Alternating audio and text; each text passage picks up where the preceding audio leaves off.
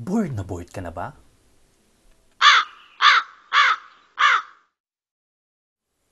Nag-TikTok ka na, ano?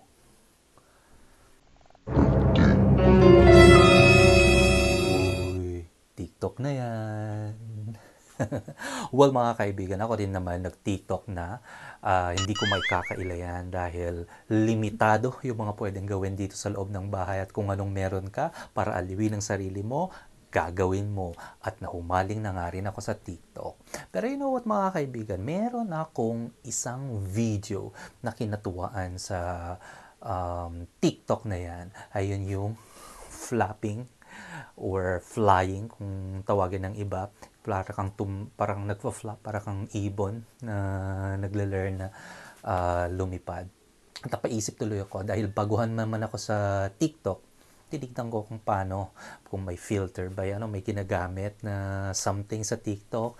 Wala akong nakita. Until I knew I learned na hindi nga talaga ginagawa yun sa TikTok. Kundi ginagawa mo talaga using your basic um, video editing skills. So, paano nga ba ginagawa ang simpleng flapping or flying video para may katuwaan sa TikTok?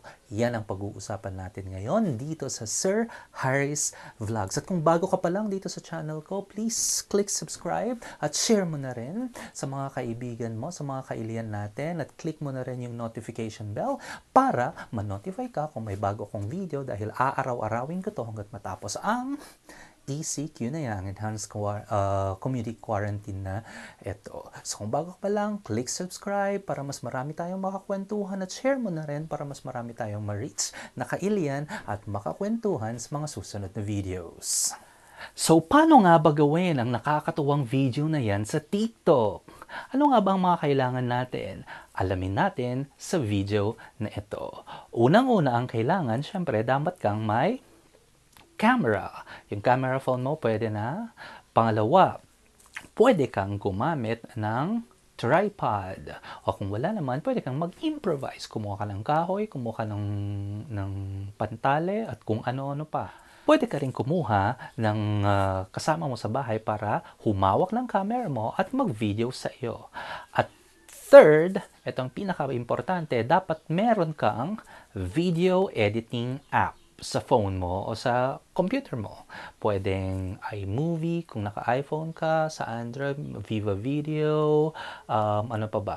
Ah, madami, madaming app ah, na pwede kang mag-edit ng video. Pero ngayon, ang ginamit ko is Viva Video. So, paano nga pagawin ang nakakatuwang flapping video na yan sa TikTok? Ituturo ko sa iyo step by step. Okay?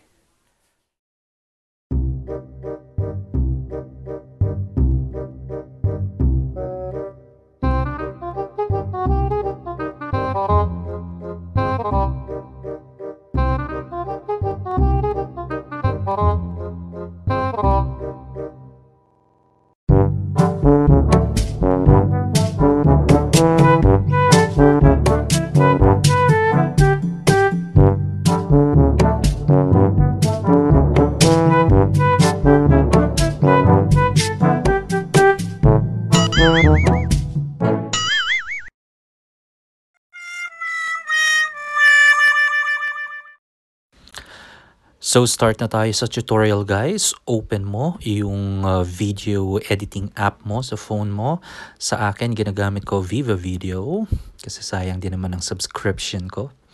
Tapos pagka-open mo, select mo yung mga videos na kinunan mo at i-import mo sa video app uh, video editing app mo.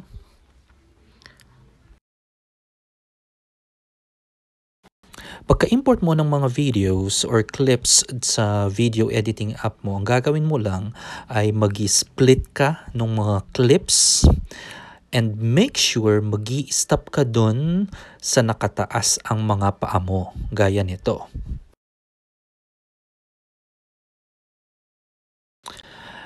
Pagka-split mo, pag nakataas yung paa mo, tuloy-tuloy lang dyan. Tuloy mo, scrub mo yung clip hanggang marating mo ulit yung part na pababa na yung paa mo. Split mo ulit yung clip. Pagka-split mo, tanggalin mo or i-delete mo yung clip kung saan bumababa yung or umaabot yung paa mo sa floor. Bale pa ulit-ulit lang ang gagawin mo. Split yung clip, tapos kuha yung mga parts kung saan sumasagi or maabot yung paa mo sa floor, dapat yun yung mga tatanggalin mo. At pagkatapos nun, papansin mo, kukonti na lang yung clips mo at marami na in splitted uh, clips, tanggal na yung mga um, uh, parts na sumasahid yung paa mo. Pagkatapos mo mag-clip at mag-cut to cut, click mo yung canvas para palitan yung aspect ratio at gamitin ang 9 to 16 aspect ratio suitable dun sa TikTok. After that, click save. Save mo na. At syempre, pinakamaganda, yung pinaka-high yung resolution. Antayin lang para ma-save. At kapag na-save yan, automatic na pupunta sa gallery mo or sa files mo. Then open yung TikTok. Pagka-open mo sa TikTok, i-click mo yung upload para ma-upload yung video mo at hanapin mo yung video na inedit mo, yun ang i-upload mo sa TikTok. Automatically i-import ng TikTok yung pinili mong video, yung inedit mo. At pagkatapos niyan, pwede mo nang lapatan ng sound. Click mo lang yung sound pili ka pero importante kung gaano ka, kahaba yung video na inedit mo, hanap ka rin ng music na ganun din kahaba. Pagka-add mo ng music, pwede ka na rin gumamit kung anong effects ang gusto mo. Dito sa akin, uh, gumamit ako ng halo, itatapat mo lang, i-scrub mo lang, itatapat mo lang dun sa part na video na gusto mong lagyan at i-hold mo yung um, effect na yon doon sa part ng video na gusto mong lagyan ng effect. Meron namang uh, instructions sa TikTok. At kung satisfied ka na, click mo ng next at upload na.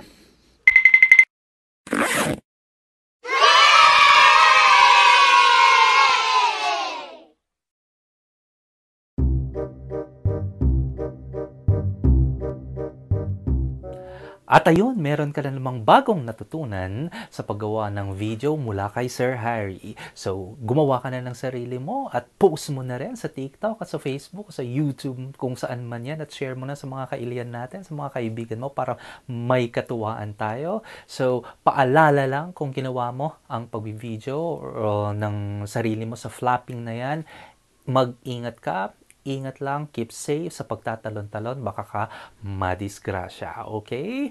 So maraming salamat kay Ilian at uh, kung hindi ka pa nakapag-subscribe, subscribe ka na, click the subscribe button at uh, notification bell para mon- mon- para ma-notify ka kung may bago akong video i-upload. At share mo na rin sa mga kaibigan mo, sa mga kailian natin para mas marami tayong makakwentuhan sa susunod ng mga videos. Okay? So have a great day kailian kahit saan ka man dito sa mundo mundo. Mag-ingat and let's all be safe. Stay at home para hindi tayo mahawa sa coronavirus na yan. God bless!